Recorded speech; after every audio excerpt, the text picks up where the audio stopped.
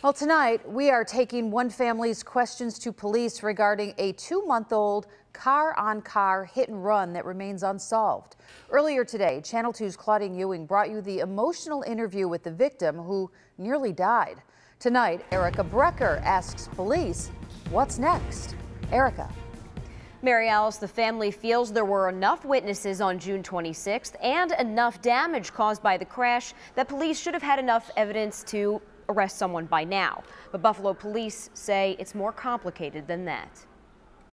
It's been two months since Will Jones nearly died when he was struck on Masten Avenue near East Utica.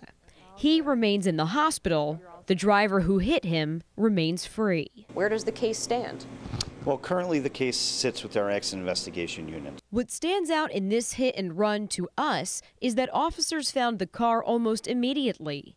The police report even says the owner of the car was found inside a Harlow Place address but would not come to the door to speak with police.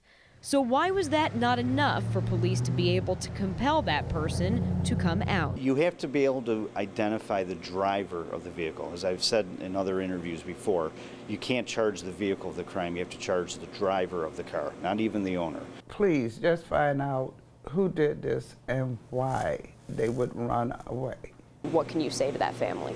Again, I, I feel for any victim who is innocently struck by a vehicle for doing nothing wrong. I, I can't begin to imagine the pain and the toll that that takes on somebody and their family. Trust me, we want to make an arrest in these cases the moment they happen, but unfortunately they are complicated cases. There's a lot of evidence that needs to be worked through and collected, and again, I think you see in most of these cases, some take longer than others, but they generally do get resolved with somebody being held accountable.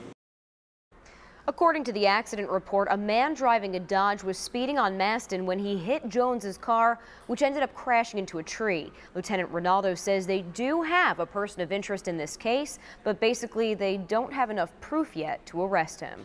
Erica Brecher, Channel 2 News.